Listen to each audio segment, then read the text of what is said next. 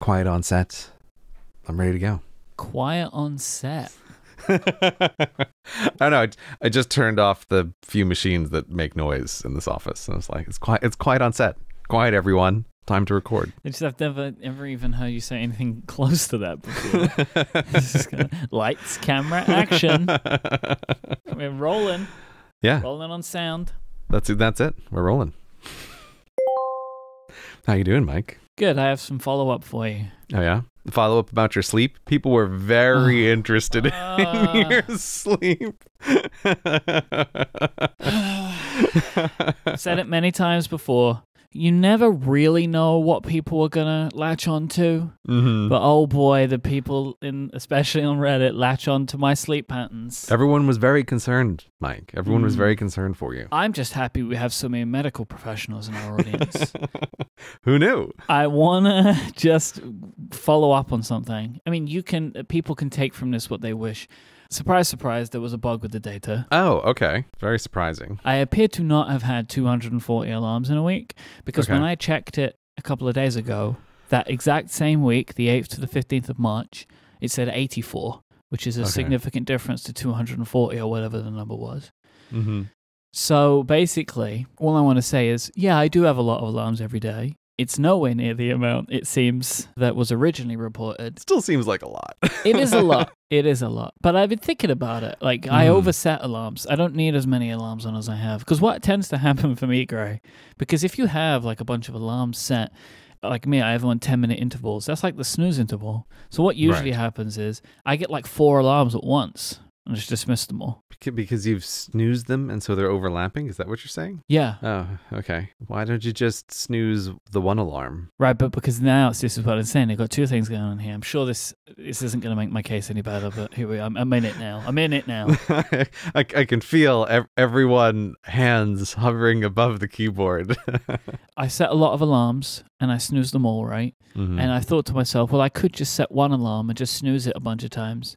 But my neuroses Mhm. won't allow for that because what if I turn off the alarm rather than snooze it? And now I've slept through the whole day. That is fair. It, it's very easy to do. It's very easy to accidentally hit the uh, stop alarm versus snooze alarm. So I, think that that's a reasonable concern. I give myself an hour, right? That is Okay. the agreement I have made with myself, right? I have one hour from the 1st Mhm. alarm until I wake up. I can get up anytime within that hour, and I do. Mhm. Sometimes it's only two or three alarms and I'm up. Oh, very impressive. Sometimes it's 10. Hmm, less impressive. hmm Give myself the best part of an hour, and uh, my alarms will just keep going off until then. That's just where I am. I do have some good, I think, objectively good follow up, though. okay. I set a 30 minute daily time limit on Twitter. Ooh, very good. I just thought to myself, why don't I do this? You know, like Mhm. you want to spend less time on it. I've just spent two hours talking about a system that is supposed to do this. hmm So that's what I've been doing. And obviously, I've been keeping to it. There's been a day or two where I gave myself a little bit of extra time. hmm But now, like, I'm down to like two and a bit hours a week, down from like four hours. So you're getting the uh, the screen comes down when your time is up and it Yep. says no more Twitter for you. And then it's like you can ignore it for the day. Get, I like one more minute. That's my favorite. Mm-hmm. It's just funny to me that that's like just hey, just oh one more minute. Come on, one more minute, please. The one more minute does make me smile because it always makes me feel like a child when I press it. Right, that I'm I'm asking Yep. for from my parents for That's one more minute. for.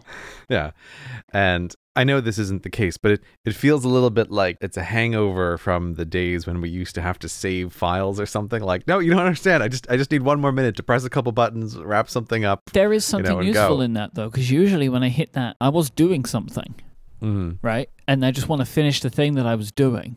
Mm-hmm. Because I've been like composing a tweet, like if you publish a show, putting a tweet out, and then like the thing pops up, and I'm like, I just need one more minute. I, I was Right. like halfway through something here. what what I do appreciate about Apple's system is it, like it tracks me everywhere, right? Even on the web. Mhm. So I like that. I think it's smart that they do Oh that. right, I forget. I forget that they did do that. That they have their different way of Mhm. recognizing that this is all the same service as Twitter. That that is a good feature. For all of the complaining that we've done, that is a good feature. And it's just been really interesting to me to like just take kind of mental stock of what time of the day I'm hitting the 30 minutes. Hmm. It's like some days it's not even lunchtime. Hmm. Some days I don't see it at all. I'm just I'm still got a lot to learn about myself from this. I've only been doing it for like a week and a half, but I actually think it might be the right move for me. Yeah, no, I, th- I think that's great. I'm glad to hear that you're doing that and that, that it's working for you. Like th- again, this is this is the promise of the system is to try to bring in alignment what sitting down rational you wants you to do and then what in the moment you wants to do which Mhm. getting those things into alignment it's, it's not always it's not always as as easy as we wish it would be No, so I'm basically making my computer shame me, which I'm fine with. yeah it's in the privacy of your own home Yeah. whatever You're punchy today. You're sleepy. That's why. yeah yeah this is this is this is Grey on five hours of, of sleep Yeah. Yeah, we are recording this the day after you published the video, so it tur- turns out that drinking coffee at 10 p.m. to do a director's commentary is not a great recipe for a good night's a good night's sleep. So that decision, that's, uh, that like late night coffee decision, is just killer. You know, it happens to me a few times a year as well, right? Where it's Mhm. like, all right, I've got a thing, and I just got to do it. I have Yep. no other way around this, and I know the only way I'm going to get through it is I need that little extra. Yeah, And if I, but if I do this, everything afterwards is worse. And it's like, well, this is. I'm sorry, but this is this is how I'm going. So yeah, it's like this. This is what the drugs are for sometimes, right? I was like, well, I'm going to inject myself with this and keep going and pay for it later. And now is later. great. I have some good news for you today. Mhm. I had asked our audience for some Ask Cortex questions because I like to touch on these every now and then, and I know that for you these episodes are easier on you, which is good. So oh, thank you, Myke. gonna hold my hand, and we're gonna we're gonna take you through the show today. Oh, you're leading me through the garden of Ask Cortex. Mhm. That's that's delightful. It's also it's been a while since we've has been, in the Ask. Cortex garden, so I'm very happy to be here on a sleepy Saturday afternoon. Although to be honest, the first question is kind of a big one. I apologize. Vlad asks, "What do you think the state of the workplace will be after the pandemic?" Oh, that's that's. I mean, that's not a big question at all. But I mean it though. Okay. It'll be the same. That's the answer. I think everyone's dramatically overestimating this. Uh-uh. I disagree with you. Okay, why? Convince me. Corporations have now realized how much money they could save. I'm not sold. I'm not sold on this argument. But go on. Tell me more.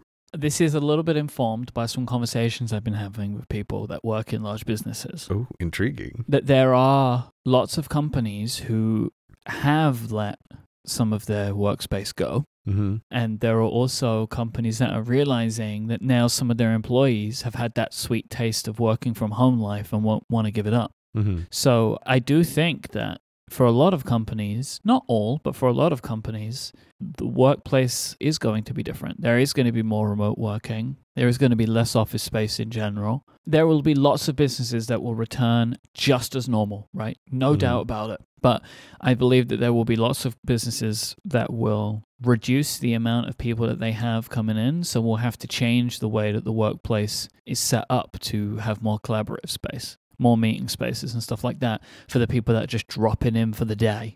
Mm-hmm. I think there's going to be a lot of that.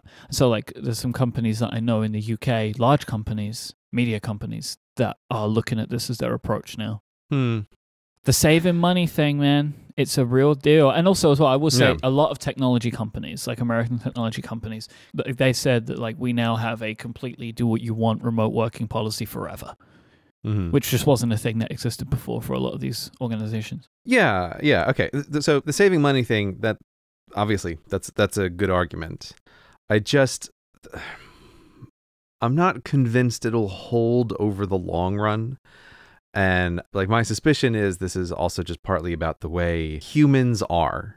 And I think that as the pandemic recedes into distant memory, you're you're going to have the same phenomenon where managers want their direct reports in a building around them. Butts on seats. Yeah, butts on seats. Mhm. And I think the internal company politics of that, you know, look at this tiny kingdom I oversee and the people who report to me, and I'm so busy interrupting them all day from getting their work done as a manager. I, I, I- I just think that's a that's a strong irrational pull that I just expect will return and and will come back.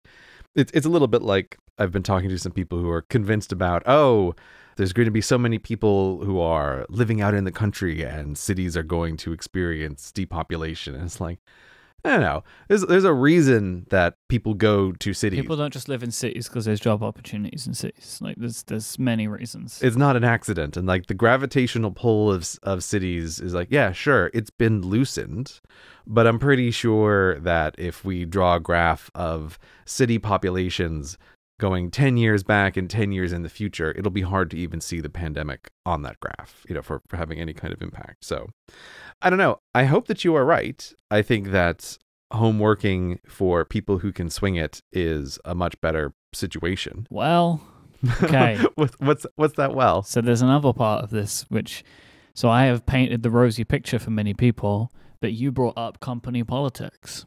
So there is going to Mhm. have to be a lot of change in the way that companies operate, and I think I could see there being an initial change and then a like a bounce back from it a little bit because if some people are in the office all the time, some people aren't. What is the relationship change for those people?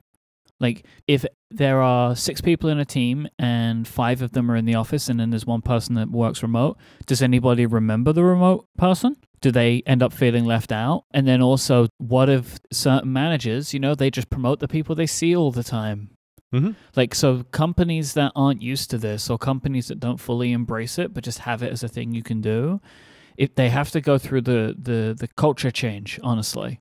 Because That otherwise, that's not that's not going to culture change it for is the a culture change. It is a No, no, culture change. uh, I'm saying that things are different, but but what will not happen is that there's going to be some kind of culture change where we're yeah where oh we're we we here our culture here is to go completely against the human grain of who you're talking to and scheming about, you know, at the water cooler. We're going to treat the people who are remote in their cabins in Montana as equal players in this game of monkey politics of getting, you know, one up on the other person. It's like there's no way that's that's going to go away. So, so this is this is partly what I mean like the gravitational pull of an office is just too strong. If you're going to work remote, I think you just have to accept that part of the deal in that is you are not going to be promoted as frequently. You are not going to be thought about as much. And that's why I say for people who can swing it, like for some people, that's great. You know, like th- that's a plus, not a minus. But for many people, like they don't want to have a job where they are forgotten and never promoted. So this is why I, I think you're making a case for why people will end up back in the office over the long run, e- even if it like saves a company money. Oh, I see. The, point that I'm making is that I think there are two things that will happen. Mhm. I think there will be a change, and then there will be another one. Um, Mhm. And I think the the place that we'll end up at, there will be more people that work remotely than there did prior to the pandemic, but it is not going to be at the numbers that a lot of people think, which is, hey, this worked fine. Yeah, this worked fine because you were all remote. Mm-hmm. So unless your workplace goes all remote, it's not going to be like this.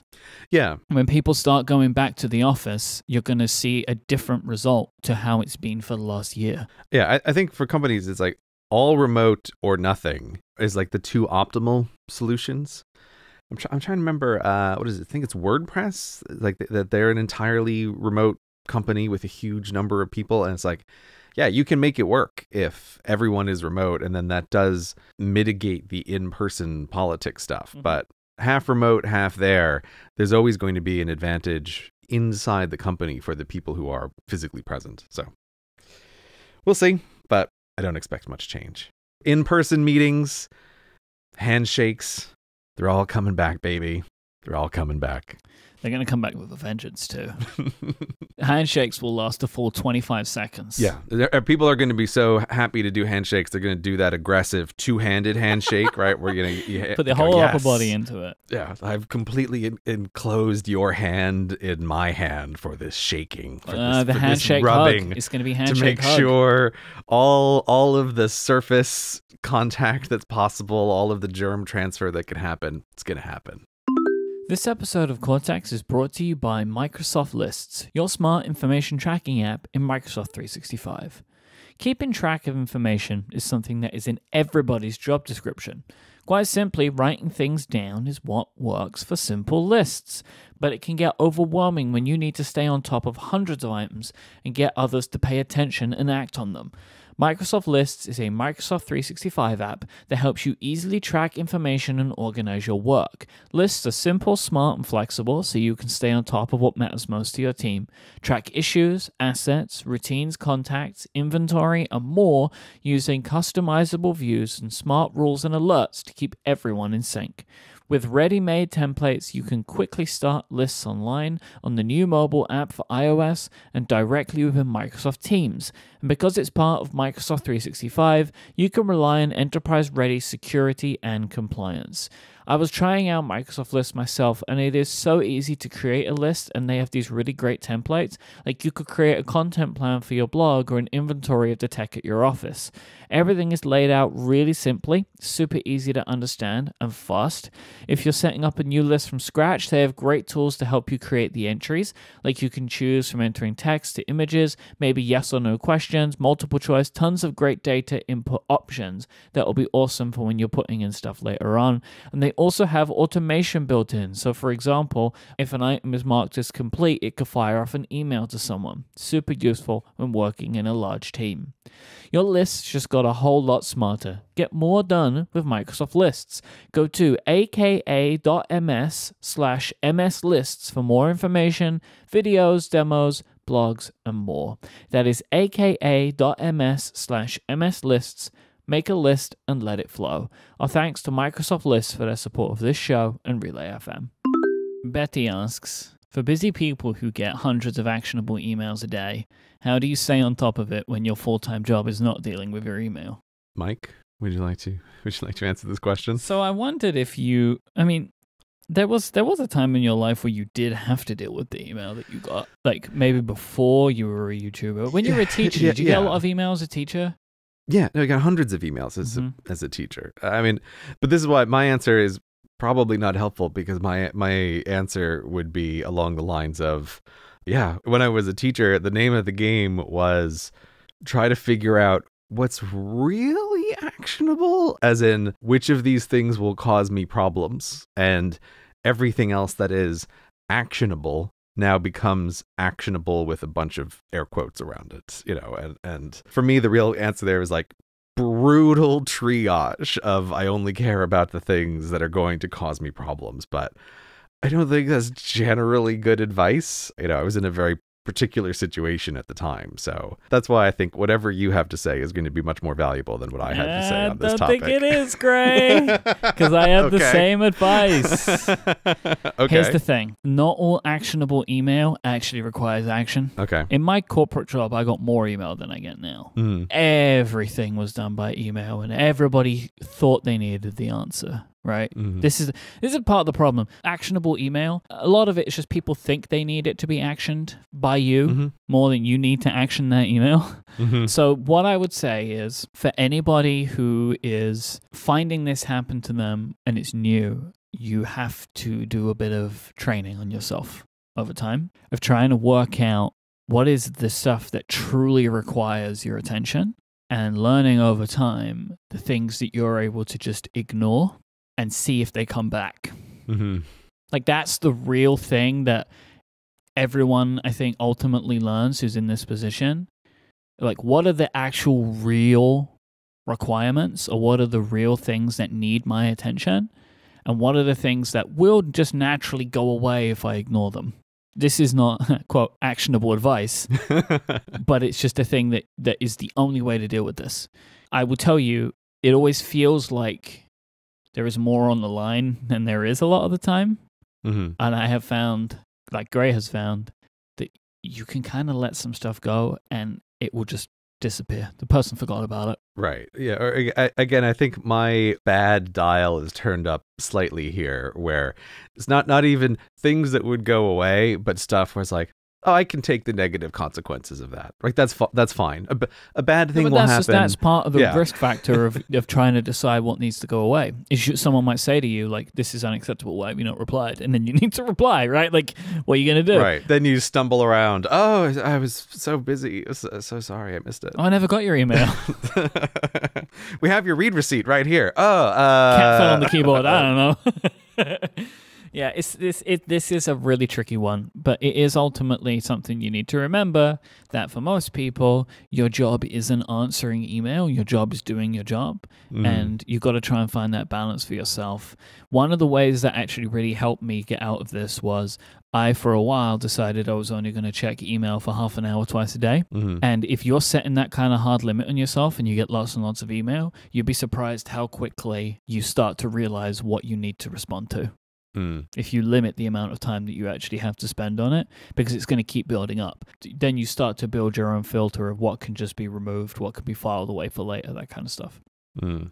it's tricky Yeah, no, it, it's totally tricky. This also just kind of goes back to the previous question a little bit and our recurring fascination with big companies and the what is everybody doing here kind of question. And I just remember thinking that a lot when I got a whole bunch of teacher emails is it's like, oh, you log in and there's 200 messages, all of which are supposedly, you know, requesting something from you. And just, just having that experience of, what are all of these people who send these emails doing? Like I like I'm not replying to them. I suspect a lot of other people are also playing the same game that I'm playing. Like there's a lot of like turbulent flow in bigger organizations, I think, where the water is fighting itself as it's flowing through the pipe and there's a lot of unnecessary motion and you just want to stay away from that. Like you answer a bunch of emails and you just train other people that you are part of this world of people who are sending emails back and forth all day long. And that can quickly spiral up into a lot of busyness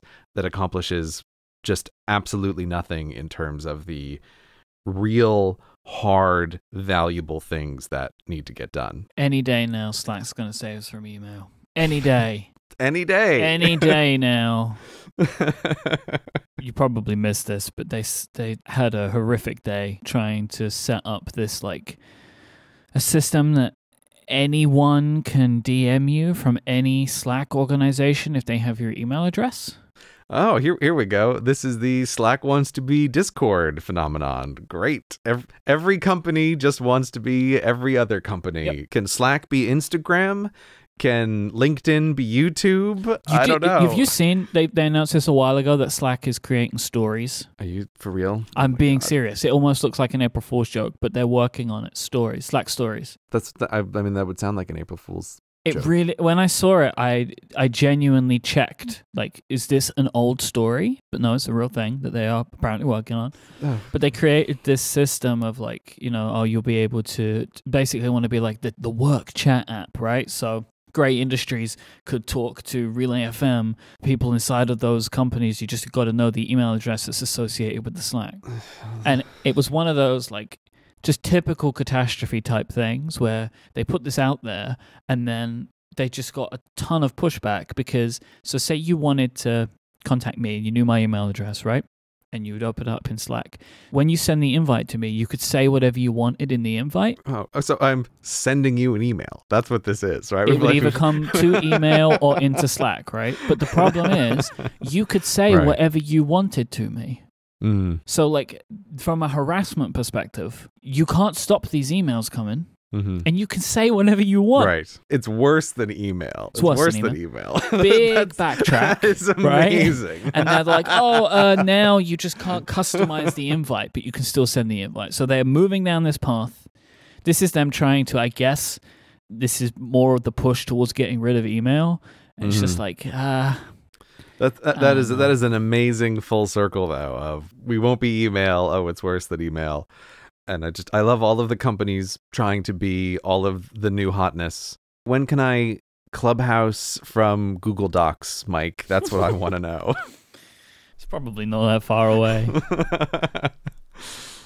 Dylan asks, how many iPads do the two of you currently have in rotation and what are their purposes? What's your iPad in lockdown situation? It's all change, really.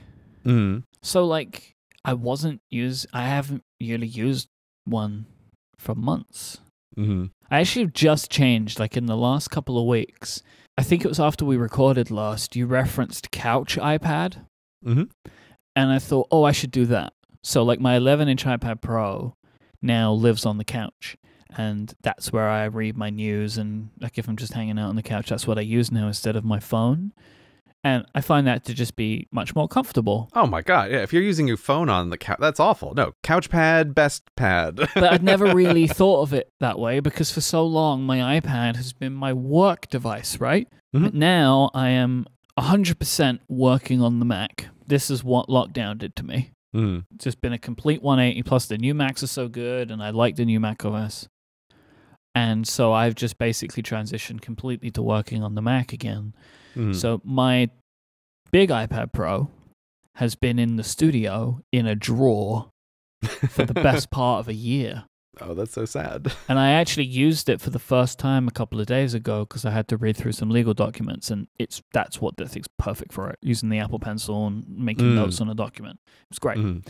But other than that, I've been using the smaller one at home, and I've now been using it more because I've kind of like repurposing it again. Like now that I am pretty much set on the fact that I'm working on the Mac again, that's just where I get my work done now. Mm. Now I can start thinking about what the iPad again is for in my life. It's interesting because it seems like we're on the eve of new iPads, and it seems like the best technology could potentially be coming to the bigger one. And I don't know how I feel about that because I don't think I want the big one anymore. Mm. I just want the little one. And I would just say, like, you know, people have always asked us this. I think that the smaller iPad Pro is the iPad Pro for like 90% of people. Oh yeah, for And sure. the for big sure. one is only if you are either A, deciding you want to do your work from an iPad, or B, if you're an artist. I think they're really the only two reasons to get the big one. Other than that, the 11 inch Mhm. is perfect. So for me personally, I think that's probably where I'm going to be now. And so that means in current use, it's just one iPad. It's my 11 inch iPad Pro. And it's now the couch pad. It's now the couch pad. As you were talking, I was just remembering Steve Jobs brought that couch on stage to Mhm. demo the first iPad. Like that's the the home of the iPad is is the couch, you know, right right from from day one. Yeah, I have my couch iPad and I love it. It's great and I've actually been using it a ton for you recommended on our State of the Apps episode. You recommended Reeder as a your RSS reader. Mhm. And it got kind of stuck in my brain and I've been slowly trying to get back into the world of RSS and I've been I've been really loving it. And part of what's great about it is it's just perfect to kind of blast through the internet using that like as the RSS reader on an iPad on the couch. It's just perfect. Great for reading. I love it. I really love that feeling of, oh, I'm at the end of the internet. I don't have to keep going in circles anymore. Like I know I know that I've covered all of the places that I want to cover and nobody has posted anything new. So fantastic. That's been one of the big uses of my couch iPad. In the pandemic, the big victim has been my research iPad, which for me has been basically untouched most of this time because like you I since I'm not going anywhere, I might as well take advantage of the full desk setup that a Mac provides. But also, the research pad was pretty much killed when I started playing around with Obsidian because like if I'm exploring a topic and I'm you know I'm reading a bunch of things around a topic, I'm going to constantly want to throw in little notes into my new note system and it's like, well, you totally have to have a Mac to do that. So the research pad just languished forever untouched. But just as of, I don't know, like a week ago, maybe two weeks ago, Obsidian is making their iPad version. Like, I, th- I think they've really ramped up the order that they're intending to do these things because I suspect the number one piece of feedback they got from absolutely everyone was, I love this, but I wish it was on iOS. And if you're part of the like VIP supporters, you can get access to test flight and so i, I put it on my ipad and Oh, they have it. Like they actually have a beta app now. They have a beta for people to test it is very beta uh, i installed it and synchronized my database and lost 50% of the data but you know what's great This is- Oh this my is god. no, no, no, but this, but this is the whole. This is the beauty. Like this is what I love about this system. My whole database is just a bunch of .md files in folders. And before I synced it, I was like, well, this feels like a dangerous operation. Let me just create an archive. You know, zip it all together. Like have have a extra backup. Great. So, so it just deleted them? I, th- I think the problem was a bunch of stuff didn't sync over. You know, maybe it would have synced over eventually, Right, but it right, didn't on the first run.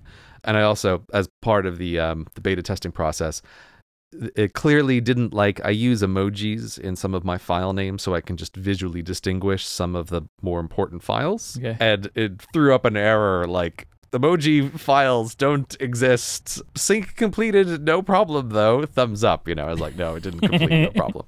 But anyway, they've already released it a couple of versions and and now it seems to be working totally fine. And this has single-handedly revived the existence of the research pad in, in my life. Well, it makes sense, just be though. playing around with it. Well, because if uh, the research iPad was great when you were doing your research there, but Mhm. then when one of the key research tools became an application that had no iPad version, well, goodbye research iPad, right? yeah, like it- yeah, If you can't get to the data in the way that you want it, well, what are you going to do? So I wasn't surprised, but now I also wouldn't be surprised when the app is in a good state to see the research iPad come back with a plum. Yeah, yeah. And again, just like with reading with Couchpad, it's just a nice, you know, it's it's a nice form factor for you know, I'm going through a bunch of stuff. I don't know exactly what I'm looking for. I'm just making some notes. Like I, I really do, I really do love the iPad for that, and I you know I love using it with the pencil. And it's also really nice to. I've always been a big fan of this. Have physically separate devices that you can set up to have limits on what they are used for. Like I, Mm. I, I have always loved that. I think it's very conducive to working. And so, yes, I'm very happy to have that device come back more into my life because I've never. I've never loved doing all of the research stuff on the Mac. It, it just it feels like there's there's too many different sorts of things that are occurring here, and I want to be in a different like mental space when I'm doing that sort of work, which is why it's great to be you know sitting at a desk but working on something like you're working on a piece of paper. So if this question had been asked three weeks ago, I would say that I have one, which is used for interneting and reading, but now I think I have two, which is the casual couch pad and the serious work research pad, thanks to the Obsidian beta for now. Eh, which is like for me i don't really feel like the what i'm doing now is my definitive always Mhm. one of the reasons that i loved using the ipad for my work is it, i could just take it wherever i needed to be and i travel a lot Yeah, iPad also really wins with mobility, Yeah. which has not been an issue lately. No. so i don't really know what the future is going to be for me but i've been enjoying using the mac there's things that i love about the mac there's things that i don't love about the mac but i do love that it's powerful and everything's right there and everything is available but i don't like the messiness of the mac Mm. i don't really like windowing you know like it's just i can never get things how i want and everything's overlapping and it looks terrible and like what i like about ios is there's only so many ways that i can arrange things yeah, but that's also the power and of I don't Mac. like any of the window snapping tools. Like I don't like them on the Mac. I don't know why. I just don't like it Mhm. because they it just feels alien to me, which is very strange. Like even though I don't like windows overlapping, when they don't overlap, it doesn't look like a Mac anymore, and I don't know where I am. It's very strange. the messiness of the Mac is also the power of the Mac, and it is still the, the one thing that I, that I wish they could get. Like, I just I always feel on my iPad that I I want to be able to easily switch between three things, not just two things, and it always kills me. I'm like, oh god, it's such a pain in the ass to get this other window up on the screen at the same yeah, time. yeah. It does feel to me like there is a medium between iPad OS and Mac OS for window arrangement. And it's not e- what either one of them is doing. There's something in the middle, but I just haven't found it yet. yeah, yeah. I'd love the iPad to move a little bit more in the Mac direction, but I'm also very aware that that is a supremely dangerous request that Mhm. risks all of the things that make the iPad great. We did have a bunch of questions about which notes app you're using now, and clearly you've stuck with Obsidian.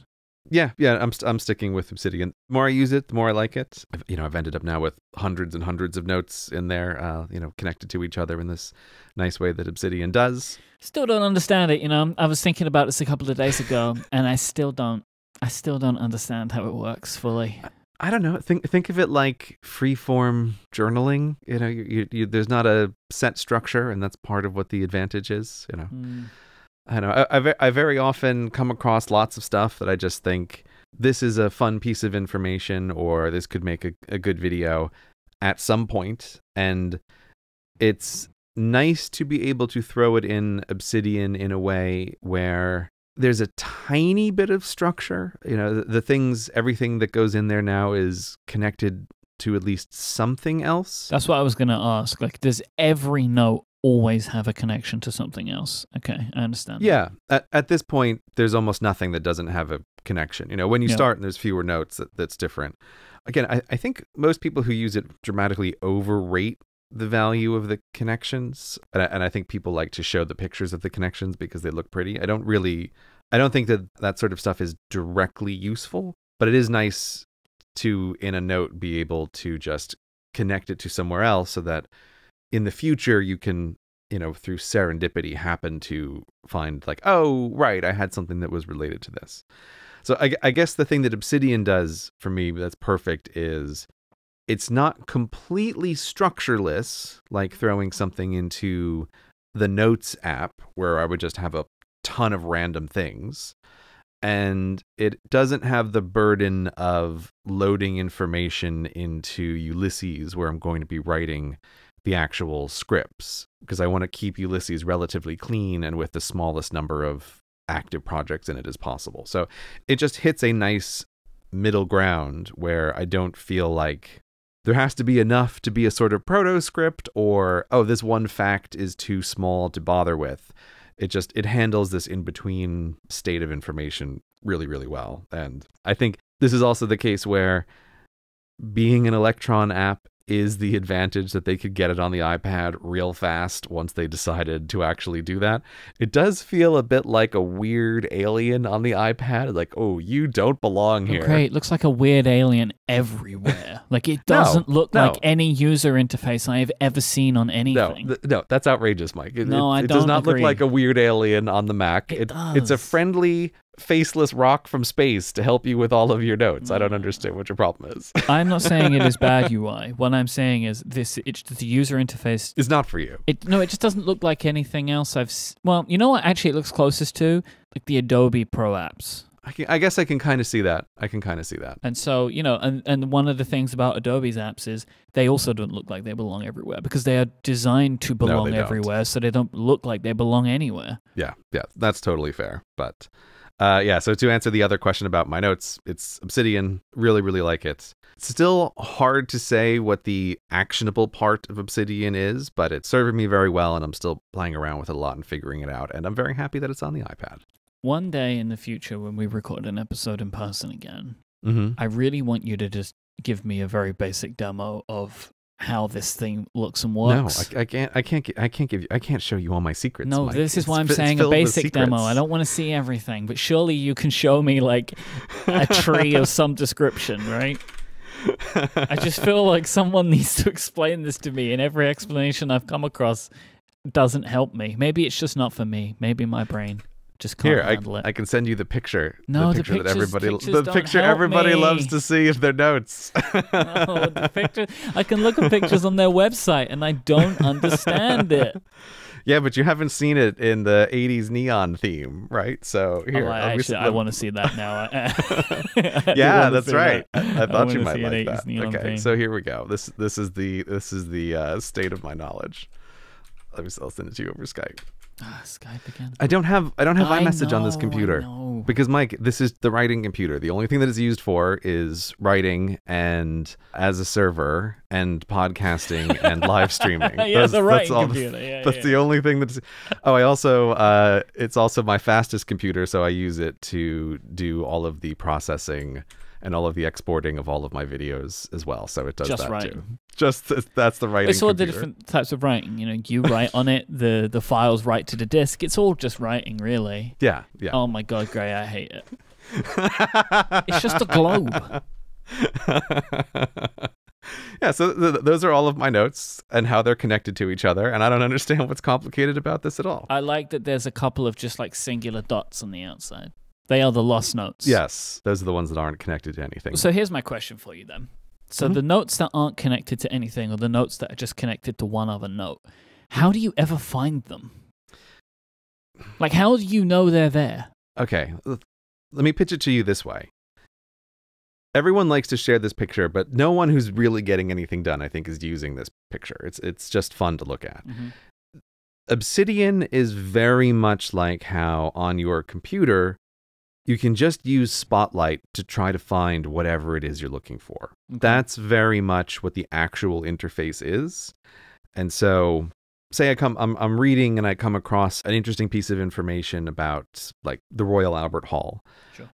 In Obsidian then I'll just just like Spotlight, they have a Spotlight like interface that I can open up and start typing Royal Albert Hall. And if I have a note already with that name, it'll just pull up and I can, oh, I can add this fun fact to the file that existed. And if it doesn't, I can just create the file instantly at that moment and add the fact. Okay. That's how 99% of the time I'm finding stuff is I'm not like looking around for it on this giant Sure. mess. I'm actually just using a spotlight type search. You're either searching, and if it exists, then great. If it doesn't, because I guess the thing that you have to rely on, and I'm not saying this is a bad thing, but the thing that you have to rely on is that you consistently create notes in a certain way, right? yeah, you you you have to name things what they are. is- Yeah. I- is, the way I would say it. Th- this is why you know I don't know what other people are specifically using it for, but for me, when I'm trying to, you know, in in some ways, my job is to try to collect all of the things that I find are interesting about the world Mm-hmm. and that's what I'm building up here is like a personal database of everything that I've ever come across that I mm-hmm. find interesting enough to make a note of that I might think is useful in the future. But once you've created that Royal Albert Hall note, if you then find out something else about the Royal Albert Hall, will you add it to the existing note that already exists, or do you create another new note? yeah, that- I, yeah, I would add it to the existing okay. note. Yeah. Because this was one of the things that confused me last time. That that's this has Mhm. now helped. Because my understanding was just like every piece of text you ever write gets its own note. Like that was what I took away from that discussion, and that didn't Right. make they're any they're sense to me. separated sentences. Yeah, no, that- they're not they're not separated. That's what I couldn't get my head around. It's like this is madness. but now, okay. So what I'm kind of seeing is it's not too dissimilar, I guess, from the way that I would make a note. But I think I would have a lot, still a lot less singular notes. But you know, Yeah, and and the, the way that the the link stuff is useful is that there are situations when you're working on something else, you can kind of see if you've connected to this thing from somewhere else in the database. Right. Like it'll draw that to your attention, you know. Oh, you know, you're working on this video which, you know, is related to this thing in London and in the Royal Albert Hall note, you made a connection to this other thing here, and so it's just like reminding you that these two ideas are related, or you know, this this might be a nice time to make an offhanded reference to this other fact that's connected. does this happen automatically? So, say you were writing a note about some street in London, and then you just wrote the words Royal Albert Hall in there. Mm. Does Obsidian automatically link or alert you? Yeah. So so even if I don't manually uh, link those two together, later on, if I'm working on the Royal Albert Hall note, I can see that in other places I've mentioned this, Okay. and it's like, oh, okay, there are connections here. That's one of the things that's nice about the software is trying to draw your attention Right. to the connections, even if you haven't always explicitly in the way the program wants you to made a connection between two notes. But things could get out of hand, though, right? Like if you had a note called the, would it link to every other time the word the has been used in Obsidian? that would be stupid. No, no, no. I, I know it's stupid. I'm making a stupid example, but I'm just trying to understand it. But would it do that? do the backlinks for the i don't think it would work that way Okay. The oh okay you have 50 notes that start with the word the So it's only checking for if a note starts with the phrase?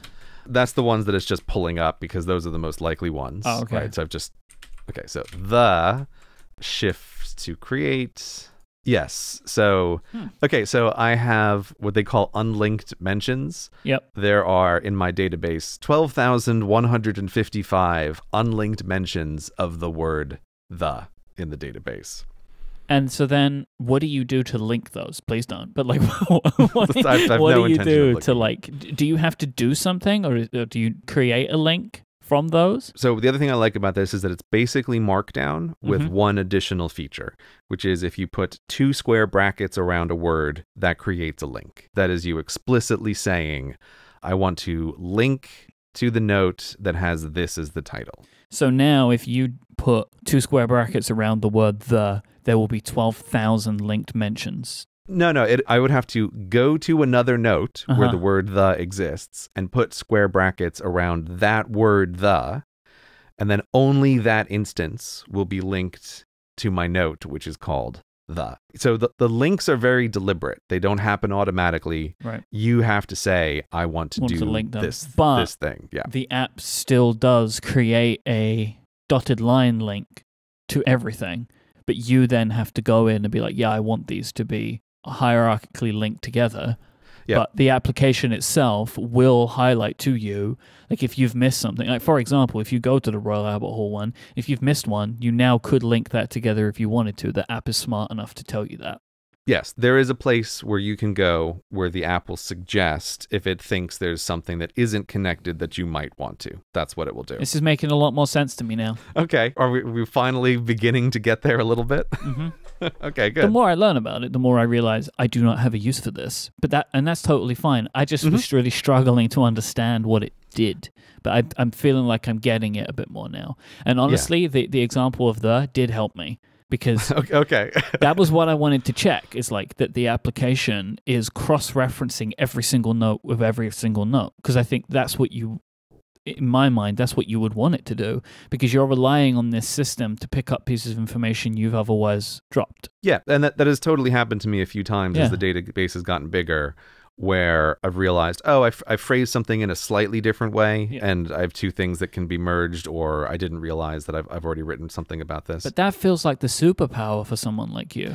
and this this is why I really like it. Yeah. If you've been going on a train here and a train over there, and then at a certain point they intersect, I mean, we're off to the races, right? Like now you've stumbled across something which could be super interesting in a way that you wouldn't initially think about. So, like, Yeah. as a person who is like collecting pieces of information, eventually you get enough of them to link together, you've got a cool story to tell. Yeah, that, that's the idea of it. Like, even if it wasn't serendipitously connecting things in, in this way, it would still be useful just as a database. Mhm. But I, I view that as a like, the more that goes in here, there's a higher chance of this lottery ticket paying off someday with a interesting connection that I didn't think.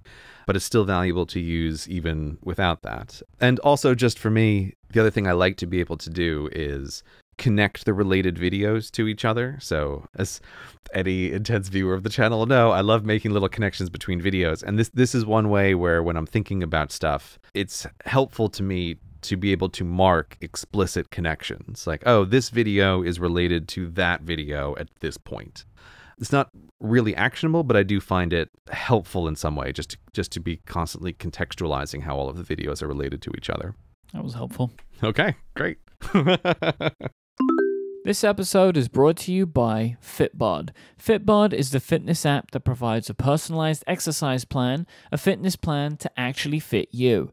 When it comes to fitness, Fitbod believes that everyone can be better. Whether you're working out three days a week or twice a day, Fitbod has an algorithm that uses data and analytics to help you build on your previous workout so that your next workout is scientifically proven to be better than your last one. Fitbod has been fine tuned by certified personal trainers to bring the best practices of strength training to you. Your workout program is tailored exactly to suit your needs, making it perfect for your unique body, experience, environment, and goals. Look, it can be hard to know exactly how you should be training, how much exercise you should be doing. You don't want to overwork or underwork, and this is what Fitbod helps you out with. It will figure all of that out for you so you don't have to worry, and it's going to mix up your muscle groups and exercises, your sets, reps, and weight over time to help keep you on top form. You don't want to spend hours researching all of this. Fitbod does it for you. If you're working out at home, they have a bunch of great body weight workouts for you. But if you have access to gym equipment, they have tons of great options there as well. Basically, everything's covered. Fitbod is there to help you with the exercise routine that you want, the exercise routine you need, no matter how much equipment you have access to. I really love just how easy the Fitbod app is to use. I really love the little videos that they give you for each exercise, and I feel like everything's explained really well. I like that they show me this is what you're going to be doing, this is what it's going to be doing for you. And I really like that they have an Apple Watch app so I can very easily advance from exercise to exercise while I'm actually getting it done. Fitbod is available on iOS and Android, and you can get started right now by going to fitbod.me slash Cortex, and you'll also get 25% off your membership. That's fitbod.me slash Cortex to try out Fitbod for free and get 25% off your Fitbod membership. Our thanks to Fitbod for their support of this show and Relay FM.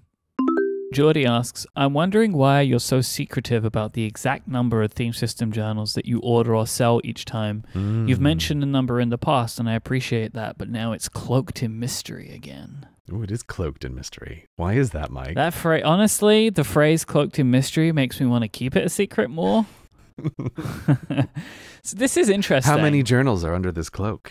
No idea. Could be one, could be a million. Depends how big the cloak is. Depends on how big the cloak is. It's a good. This is look. This is a good question because, like, thinking back across it when I saw this question, I was like, "Oh yeah, this is weird." Because there Mhm. have been times where we've been very explicit about the number, and times where we haven't. And I'll be honest, there is no real rhyme or reason why. yeah, yeah. I didn't want to talk about how many we ordered the first time, the very, very first time, which was two hundred. Mhm. Because if we didn't sell out, I didn't want to look like an idiot. right. It would just be embarrassing. Be so embarrassing. And then there was a little bit of that for the second time, where I think we ordered like two thousand of them or something, and it was still that was still a hangover there. And then the first time we ever shared the numbers when we made a bet on it was when we ordered three thousand, which was the That's right. That's right. So that was the point when we actually shared a concrete number. So it's it's always been a bit up or down, and I've never really felt one way or another about it. So like I'm happy to share some numbers like now. Mhm. So uh, should we talk about how many we sold of version two? yeah. So version two is what we've sold this year. So all of these sales have been basically this year, I guess starting in late November.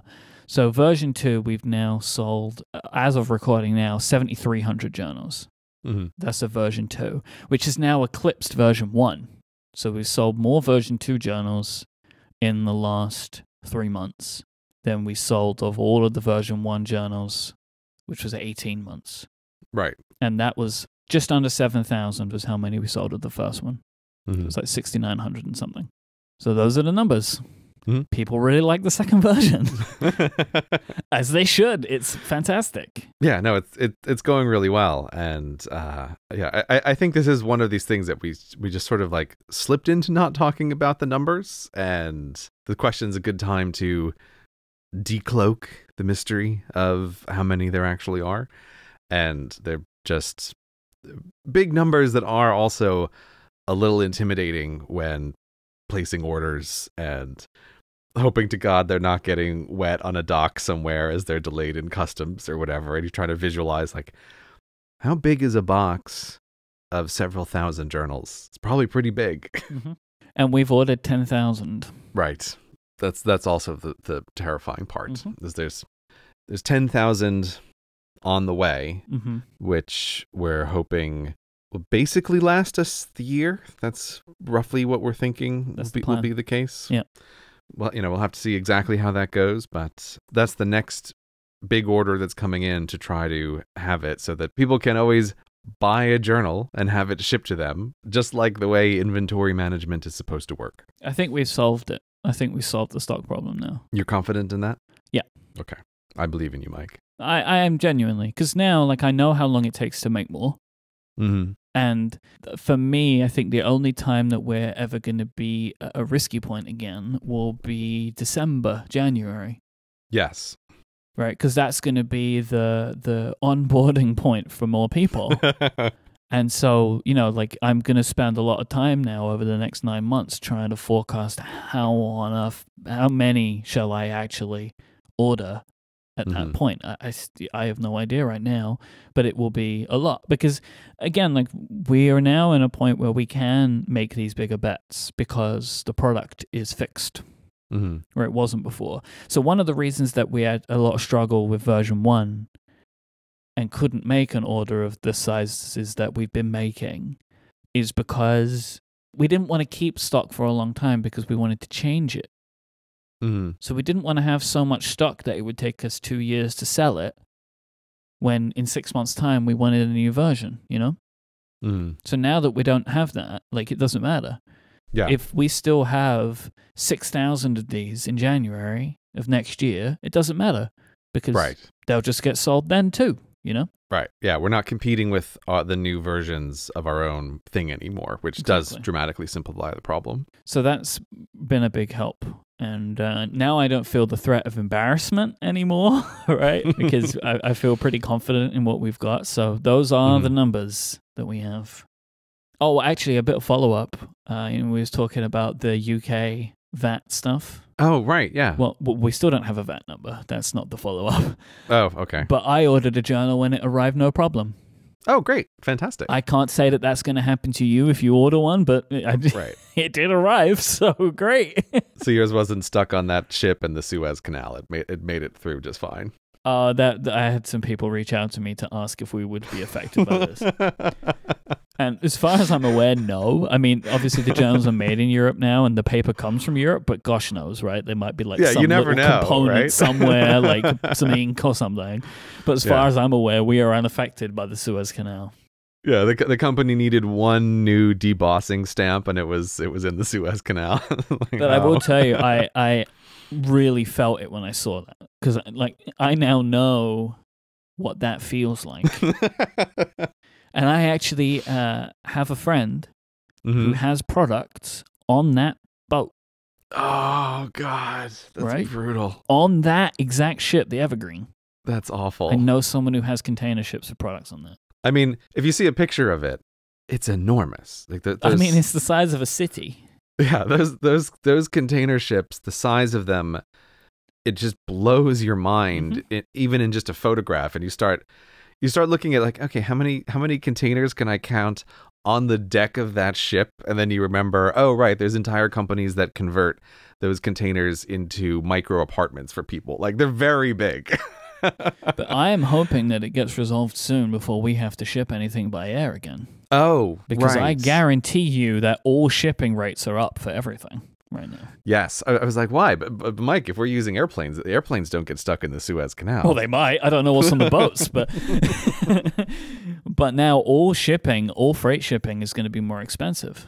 I don't know that, that that ship stuck in the Suez Canal. I haven't been able, like, I've been dying to really dig into all of the details of it since I was only just able to see the headlines and I was in my real crunch, gotta finish a video period.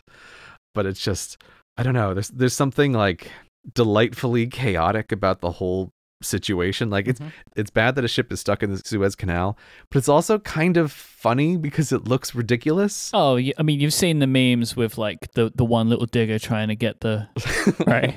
no, I haven't seen. Oh, there's just one little digger trying to get the like trying to wear away some of the side, like the wall of like the bank, and it's like this this tiny little digger in this astronomically large container ship, like as if it's somehow Uh, going to help. I've got I've got a lot of, of fun internet catching up to do oh, around it's, that. it's I been can't good. wait. It- this has been one of those rare things which just unites people into to making fun of something. It's just so incomprehensible. no, I disagree. It's the exact opposite. Okay. It's it's funny because it's really understandable. The problem is very basic. Coming at this from different places. I agree with what you're You saying. know, you know what the problem is? There's a ship. It's too big. It's stuck. Right? Like, am I just a weirdo here? There's something kind of delightful about it. It's like, oh, No, it's very relatable. Somebody just made a little screw up. But what I mean is like the sizes and scale of things are just Oh, too yeah, much for us yeah. to comprehend. But the idea that somebody made like just uh, did a whoopsie and now, and now like the entire globe's shipping has stopped. again, another reason it's relatable is, oh, great, we're stuck in line behind the person at the grocery store who you know wants to take a long time or is trouble for some reason, right? It's like it's the ship version of that. Like, Yeah. oh, great. Except the problem is the entire world's supply chain is trying to pass through this one narrow canal. I don't want to place a bet on how long it's going to take to get that ship fixed. I feel like I have I have no ability to bet is it before the podcast goes out or is it a month from now? I, like I, I mean, no I saw idea. something that suggested they were going to have it out this weekend, but I don't believe it for a second. You don't be believe honest. it for a second? No, I just feel like uh, this is not something anybody can estimate. Mhm. It will happen when it happens. It's the way I look at it as like that. This will just happen when it happens, and that's that. Right. Enjoy going around the Cape of Good Hope, everyone. You Mm. know, have fun with that. Alex says, "What is something you wished you would have known earlier when designing your work setup?" Oh, I, f- I feel like this is this is a you question, but I have I have one little one. My little one is you need a charging station. So even if you don't think you have a lot of things that need charging, you have more than you think you do. And it's a real pain in the butt Mm. to just try to have some random wires in random locations to charge your things. So it, it took a while, but I think halfway through this whole situation, at some point, I have a little, it's just right behind me, but I have a little like multi level open tiny storage space thing that I got a 10 USB hub for and just like bought a bunch of wires and and went around my office and thought, what's everything that needs charging? Great. You're all going to live on one of the shelves of this thing and you're going to be plugged in all the time. And this is where all of the things charge. And um, made a ridiculously big improvement to the, the tidiness and the readiness of my whole office. And I just kept thinking, I don't need a charging station. But I really did. And I think everyone should just pick a shelf, put a bunch of USB cables on that shelf, and that's where all the things charge. Mm. What about you? I wished I would have known that there would be a global pandemic, which has shut my studio down for over six months. Okay. Next I mean, question. oh, yeah, I don't I don't think I don't think that's the spirit of the question that's being it's also asked. not very relatable No. because I mean, let's hope. right? This isn't something you need to think about. Oh, my office people got in touch again, by the way. Oh, they which I, did, I, did I they? thought was funny. Yeah, I got I got Deals, another deals, email like you you got in touch with us looking for some office space. We're ready to accept customers. Mhm. Let us know what you need. And I just dragged it into the trash and didn't reply. I'm into year two of my lease now. Wow, that's much longer than I would have guessed. It's very upsetting. What percentage of, of that time have you actually been able to be in the office? Less than half. Less than half. Mm-hmm.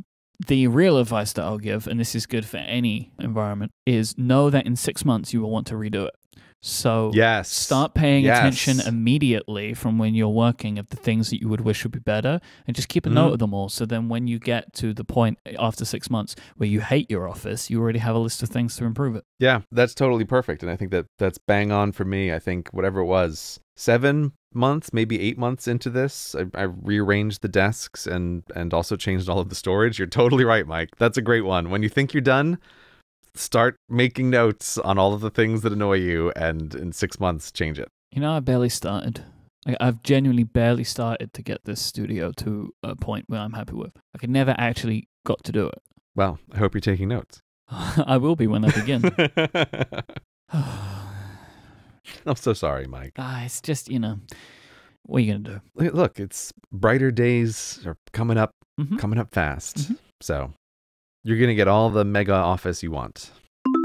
This episode is brought to you by Hover, one of this show's longest running sponsors. Because when you have that one big idea, where do you go? Your business starts with a domain name. For so many entrepreneurs, Hover is that first big step. It's that big leap.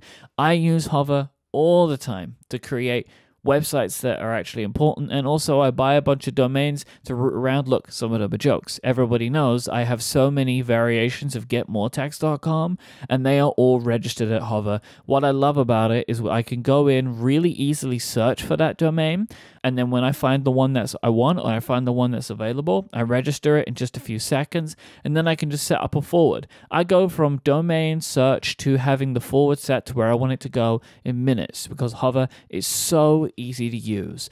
And they have over 300 domain name extensions that you can choose from. So no matter what you want to build, there is a domain name waiting for it. And they have the best technical support. So if you have any questions, they're there to help you. And Hover as a whole is dedicated to getting you online and not upselling you. So they give you free Whois privacy so bad guys don't get your info.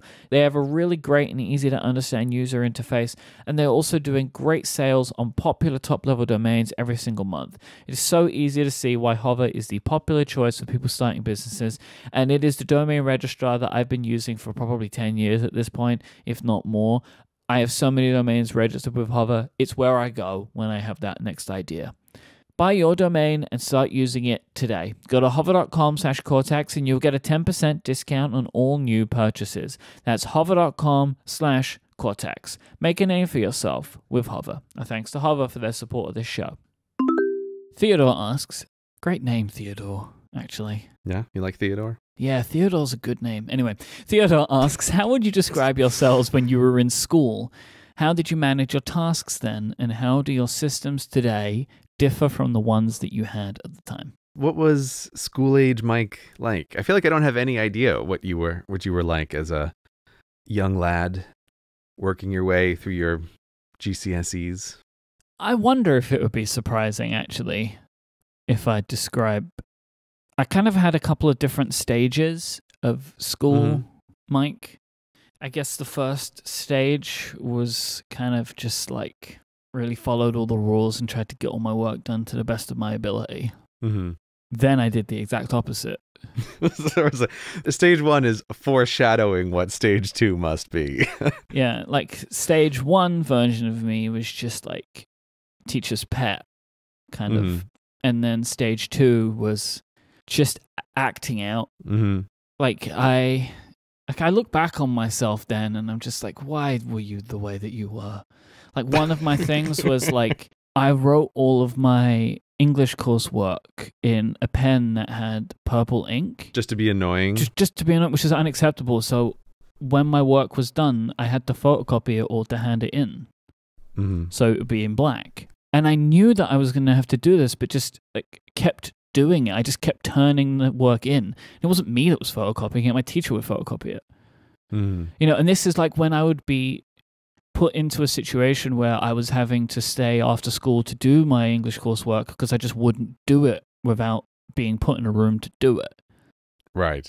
and it was one of those situations where I was probably I knew this like I know looking back I I understand it I probably knew it at the time where I was good at school right like I was smart and I had good grades they could have been better if I would have actually applied myself properly but I went to a school that kind of needed good grades so the teachers would have to put up with my shit Right. Okay. I see. I see. which like when I look back on it now, it, I, like it annoys me that I was that way, but it's just how I was, right? So like it was like, oh, you're gonna be in coursework class. No, you're putting me in detention, but we're not gonna call it that. No, coursework class, Myke. It's not detention. And you're gonna take the work that I put in pink ink because you need that, and you're just gonna photocopy it. So that was up until the ages of like 16.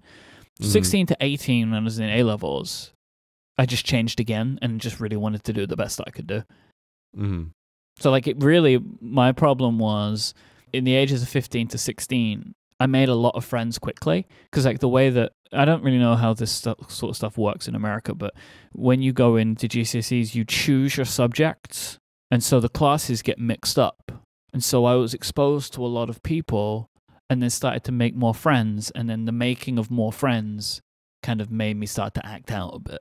Oh, okay. Your friends were a bad influence on you. That's what you're saying. Yeah. Okay. But like, what is that? Like, is there, what is GCSE? How would Americans understand This- what GCSE yeah, level no, don't don't don't try to. It, does, it doesn't No? matter. Look, the bit like Alright. Myke Myke was able to do something a little bit more intense than electives, where he was able to have control over his schedule uh, for what classes he was taking, and he There took, you go. You, you've just did it. You, He you- took you've helped. classes that ended up with him with a bunch of troublemakers who also Yep. picked those electives. Correct. Because humans dramatically underestimate how powerful selection effects are. Mm-hmm. And this is one of those cases. Which kids pick what classes?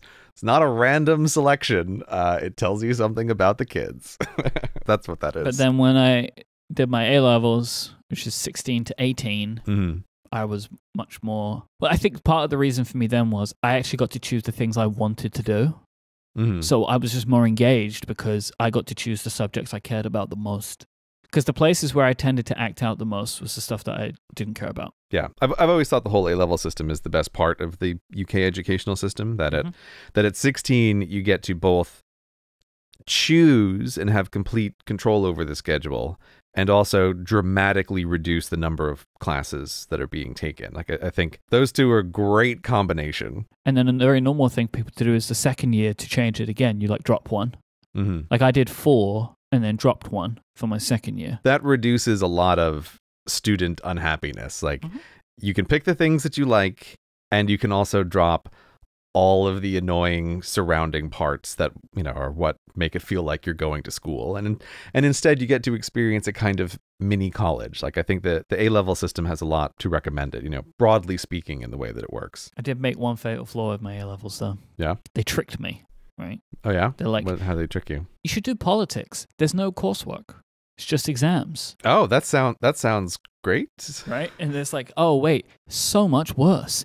There were so many exams for politics that you basically just ended up doing the coursework in a timed environment. It was terrible. Plus, I didn't really enjoy politics that much. Did get a couple of cool school trips though, hmm so wasn't all bad. Right. So no coursework, ten times as many tests. They did, but they just didn't mention that second part. No, oh, it's only exams, but not that like it's three times more exams than any other course that you're doing. Where you just write ess- the exams are just essays, so it's just like I hate this. This is terrible. I'm now writing my coursework under a timed environment, but maybe I'd actually prepared for that in Mhm. GCSE by Mhm. not actually spending the time to do the coursework Right. and doing it all against the timer anyway, because I was going to run out of time before I had needed to hand it in. So anyway, so I had some some trouble years, but overall, Mhm. I, I did try to do my best. Hmm. That's very noble of you, attempting to do your best. I unfortunately was a terrible slacker who never attempted to do his best at school. Oh, I was still slacking. Like I, o- I would only do my best up to the level at which I was willing to to commit, but within those parameters. right. Yeah. No, I, I was.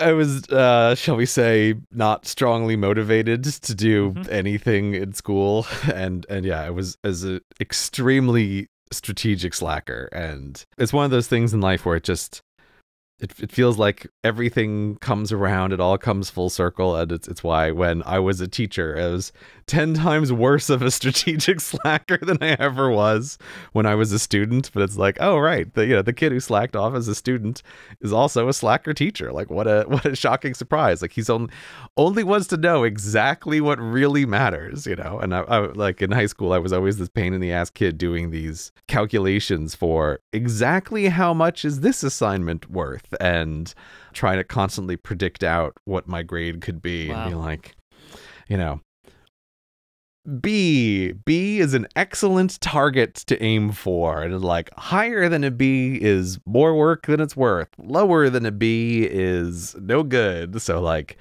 don't don't spend one iota more energy than you absolutely need to get that B. Like B plus is great, but it's a you know, it's a sign that you may be pushing too hard. And so like that was that was very much my take on it in school. And I feel lucky that it didn't bite me in the ass in some ways. Like, you know, being a strategic slacker is it's a risky move. Like, you know, you better not get anything wrong because if you do, problems can compound really quickly. And I, I just sort of, I lucked out with that stuff, but I did not enjoy being a student at all.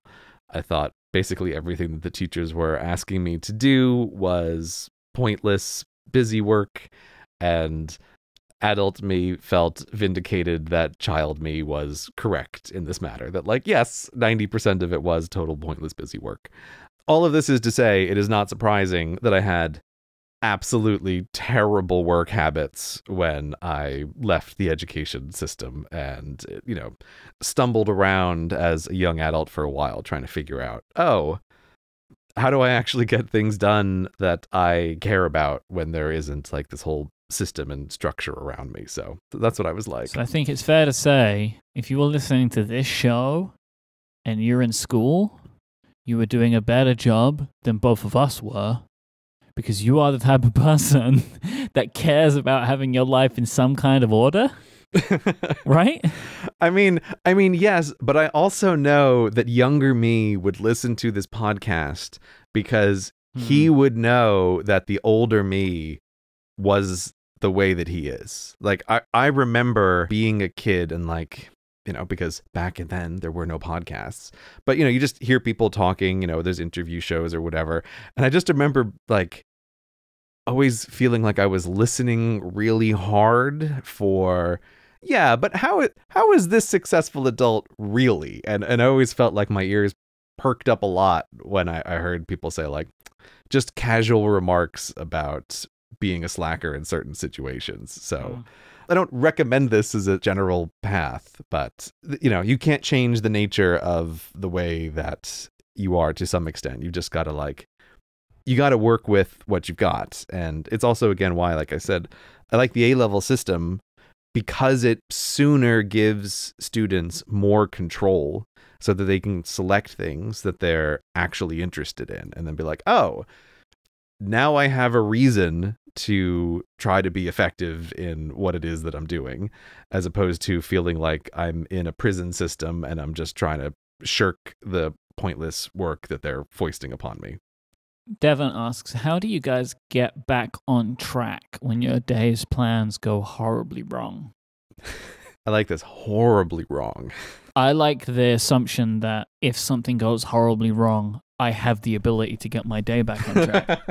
That's what Ah, I enjoy okay. most here is that there is the assumption that that is what happens to me. so, so what you're saying is when the day's gone horribly wrong, the answer is just bail, just bail on the day.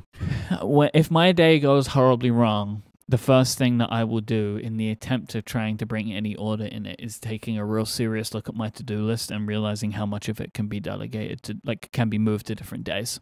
Mm-hmm. Like that is the first thing that I would do is like taking a very real look at it and being like, no, no, not what would you prefer was done today. Like what can you actually realistically do today? Everything else is moving. Right, right. Not not your fantasy day. Like let's Mhm. let's get let's get real about Yep. what could happen in the remaining three hours of productivity that you have left or whatever. Mhm. Yeah, I think I think that that's a good idea. I mean, obviously, horribly wrong is a lot of things. Uh, you know, I, I I do think it is a real skill to be able to know when a day is lost and just accept that. That is better than feeling bad for the rest of the day. But it Mhm. can it can be hard to know when to make that judgment call. A thing that, that I've done over the past few months, which has been very helpful, is you know, my problem is always getting started in the morning. So, uh, you know, while I am very protective of my mornings, if a day goes wrong, it's because I'm having a hard time, like, just getting going with what needs to be done. And I have calendared out what my theoretical morning should be. And you can very easily get into the situation of like, oh, I've dilly dallied for an hour, and now uh, you know I've already like pushed all of these things back, and, and you just like get this cascade problem. So I actually have a little thing in OmniFocus, which is the dumbest thing, but it's the first item that pops up after I've brushed my teeth and, and done all the normal boot up stuff. Is it says like, if it's a late start, start at the beginning and go until exercise. So I have a kind of blocked off what should be the beginning of the morning, which is like two work sessions and an exercise session. And that's, you know, maybe a third of what the theoretical morning should be. But I've actually genuinely found this dumb reminder to myself that, hey, man, yeah, you've got a late start today. You know, you slept in or you just couldn't get going or whatever. Cool. But right now, you can just start at the beginning and go for like three of these double units and still have a victorious day, even if this is all that you accomplish. And as is often the case, when you set a kind of lower bar for yourself, it can be one easier to start and you can end up doing much more than you originally planned to anyway. So it is the dumbest psychological trick, but it's basically this way of telling myself you can start at the beginning anytime. You're not actually late for this imaginary writing appointment that you've put on the calendar. You can just start right now. So that's one of the things that I do. What's a double unit? You said double unit. What is Oh, that? sorry. All of my time is broken down into units, which are 40 minutes. That's like the writing blocks, is how I think of that as like, okay, two double units of writing in the morning is like a session of 120 minutes, a quick break, and then another session of 120 minutes, and then exercise. Like that would be the ideal start to a morning. This idea of blocking out your ideal day kind of it this feels like there's some parallels to me and my morning alarms. I'm never actually going to wake up at 8:30, but I'd like to believe I will. I'll, disagree because I do hit the mornings more often than not, and it sounds like Hey, I always wake up. planning to fail. I with- always wake with up. the first alarm. Uh, to be fair, I've sort of talked about this before. Like planning out a theoretically perfect two weeks, again, it's not like I'm creating a schedule that I'm really holding myself to. I always think this is much more useful as a limiting exercise in, in terms of thinking, even if you had the perfect two weeks, how much can you really get done if you actually put it all on the calendar? And I think that helps constrain being over ambitious in goals and trying to be much more realistic. I could imagine it helps you be realistic about anything additional you could put into a week too, right? Like if someone wants to have a meeting with you, yes.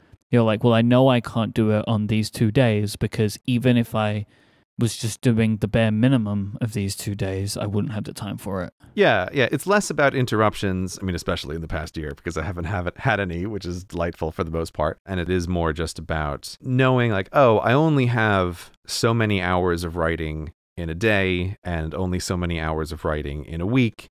And by putting that down on the calendar, it can help constrain.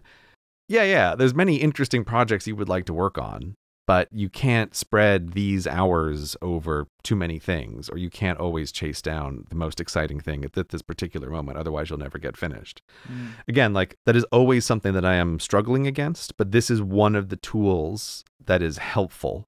You know, like I have it in Fantastical open a lot, is the theoretically perfect schedule, but I'm not really trying to match that down to the minute. It's it's again just more of like a guidance. Is it a separate calendar? Yeah, yeah. It's it's okay. the way in Fantastical you can bring up those calendar sets, which is one of the reasons why I love it. That's cool. So you could turn it off if you're like, I need to be realistic about what I'm actually supposed to be doing today. Yes, yeah. I have it open to just sort of look at sometimes and to think about you know what's going to happen this week but yeah it's, it's not an actionable calendar you know like when we're planning when the next cortex recording is going to be or if i have to set up a meeting or whatever like that calendar goes right away. It's like goodbye. And then i have a, a separate actionable calendar. No, i'm sorry we can't record this week. I have seven theoretical writing blocks that i'm not going to do yeah, exactly. I think that, that I, I do bring, have some element of this type of thing when it comes to my task list, mm-hmm. where like I have things in my task list where it's like, in an ideal world, they would be done today, but they don't have to be. So it's not exactly the same, but there is this element of like, I kind of know when looking at my list, like what are the things that actually need to be done today, and what are the things that I could move if I needed to.